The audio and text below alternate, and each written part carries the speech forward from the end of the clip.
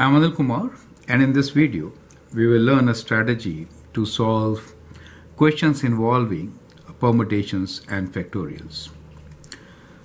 The question is to solve for n. We have two parts. First one np2 equals to 56 and then we have np3 equals to 5 factorial. We have to find the value of n.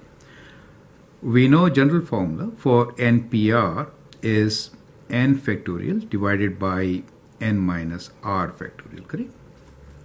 So we can use this formula to solve these equations. So the first one here will be n factorial divided by n minus 2 factorial is equal to 56 and that gives us n times n minus 1 times n minus 2 factorial divided by n minus 2 factorial equals to 56. n minus 2 factorial cancels out. So we are left with n times n minus 1 equals to 56. From here, this is a quadratic equation which can be solved and we can find the value of n, correct? So you can actually pause the video, solve this and find n. Let's look into the second one which gives us np3 equals to 5 factorial, right? So I'll continue with this. So that really means we have n factorial over n minus 3 factorial equals to 5 factorial, correct?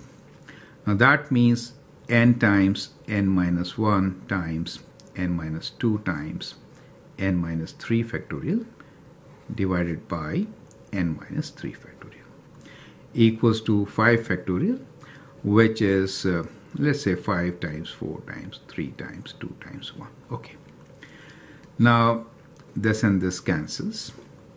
What really remains with us is a cubic equation n minus 1 times n minus 2 equals to this number which is 5 times 4 is 20 times 6 is 120 right so that is what you get, and you get a cubic equation, right? If I do NP4 and something else, you'll get a quartic equation. Remember that. So, so what really happens is that the R value in such questions may complicate your solution depending on what the R is. If R is 5, you'll get degree 5 equation here to solve, maybe in factored form. Now the question is, how can I solve these equations quickly, right? I have to find the value of n. What I need to find is the value of n. This is what I need to find. How can I solve them quickly? Now the trick here is, we could always solve them, right? Open the bracket, use quadratic formula, factor out, you know, it's a long process. How do we do it quickly? This is what I'm going to tell you in the next step. Here it seems to be simple, 7 times 8, right? You have your answer right there. Bigger number you're looking for, correct? Uh, and here then what? Correct? So what I do here is, if I have 2 here, we'll do square root of 56. So what we will do here is, I'm just discussing the trick here now. Trick is, if this is 2, then we do 56 square root. What do we get? Let's see. So, so we have 56 and uh, we, I'm sorry, we do square root of 56 and we get in decimals 7.4. So we know these two numbers are around 7.4. So what are the possible numbers? Obviously it is 8 times 7, 56, correct? And so we get our answer and that is n should be 8, right? n should be 8. So we say that means n equals to 8 does make sense to you. So what we have shown here is without really solving the question, we estimated the square root, right? You could estimate, right? You know, 7 times 7 is 49. We know 7 square is 49.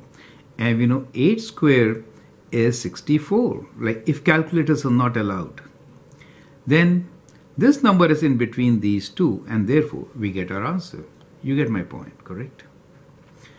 Now, we'll follow the same method here. So what I'm trying to do now here is, we'll find the cube root of 120. and round it to a whole number. Do you see that? So we have 120 to the power of, let's say, 1 divided by 3. So that gives me the cube root, right? So cube root of 120 is 4.9 approximately. 4.9 is the cube root. That means the center value is 4.9, correct? Cube root, if you multiply three numbers, is somewhere in between. Do you understand? So the cube root is, is approximately 5. Therefore, what the number should be? Well, in that case, the center number is 5. These numbers should be 6 and 4. And therefore, we get our answer as 6. And what you can do is, you can perform a check. So what is the check? 6 times 5 times 4 equals to what? Let's do it. Now, I know you could do it without calculator, but you know, uh, at times you could be working with degree 4 or 5 equations, right? You get the same answer, 120. And therefore, we can say n is equals to 6. Do you see that? So what I'm trying to emphasize here, that if you have multiple choice questions, restricted time, and in general, you could do nth root, I should say rth root, to get an answer in such a situation. I hope you understand and appreciate this trick. That'll really save time when really required. Feel free to share my trick and my videos if you like, that'll be great. Thank you and all the best.